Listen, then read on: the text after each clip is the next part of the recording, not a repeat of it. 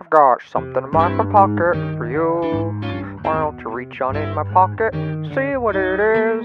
Then grab onto it, it's just for you. Give it a little squeeze and say, well, how do you do?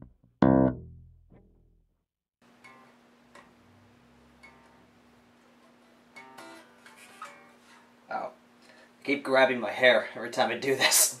Just, yeah.